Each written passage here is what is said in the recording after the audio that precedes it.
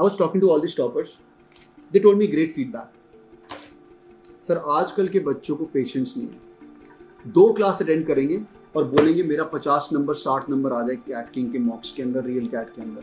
नहीं आएगा मेरे दोस्त। नहीं आएगा। हमने डिस्कशन किया है टॉपर्स के साथ। सर यू नीड ये 2016-15 ग्रेजुएट्स हैं, वो फिर भी सही है। जो नीचे वाले बच्चे हैं, उनमें थोड़ी सी गड़बड़ है। उन लोगों को सब कुछ जल्दी जल्दी चाहिए। समझा? तो तीन महीने is a good time but एक महीना पढ़ो फिर थोड़ा थोड़ा आप देखो आपको मजा आएगा what do you think about that how much time they should invest on profile because I am a big fan of profile being from the SPJ in Bombay category and what do what do think about that what is the take So profile is what you are.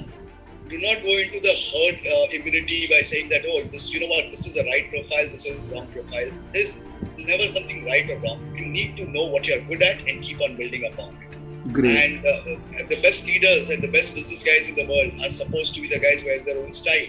So profile is your own style and keep on building upon it and do not copy things.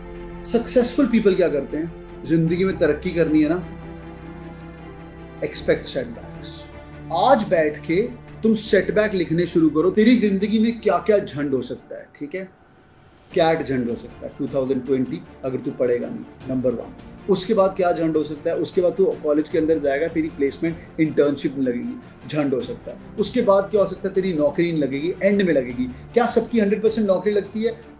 Eighty two ninety percent लोगों की नौकरी लग जाती है, दस percent लोग रहते हैं तो उनकी भी नौकरी लग जाती है। तो एंड में कर करा के तेरा फाइनल जो गोल है, तेरी नौकरी तो लगने वाली है बट एक्सपेक्ट कर ले set back you rule number one start expecting failures मैंने थाउज़ेंड आई प्रोजेक्ट लॉन्च किया था बड़ी चौड़ की बात है।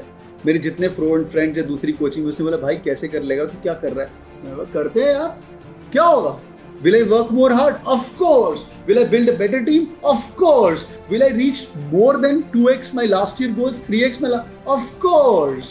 नहीं होगा तो क्या तुम लोग मज़ाक ही उड़ाओगे ना बट मेरी दिमाग के अंदर मैंने अपना कम कर लिया और मेरे पिछले ब्लॉग से मैं आगे चला गया कि इमोशन आउट ऑफ़ मेरे सामने जब भी कोई बच्चा रोता रोता आता है मतलब लिटरली रोता रहता है first line I tell them keep the fucking emotions out of it okay? I just tell them one thing, keep the fucking emotions out of it. Number one, whenever you pull in emotions to any any negative thought in your head यार ये मैं मैं अपनी किताबों की knowledge तुम्हें बता रहा हूँ जितनी भी किताब मैंने इस लॉकडाउन में पढ़े ध्यान सुनिए whenever you put emotions to any negative thought in your head it becomes a practical implication आज के बाद अपनी अपने नेगेटिव इमोशन के साथ अपने नेगेटिव थॉट के साथ इमोशन ऐड मत करना।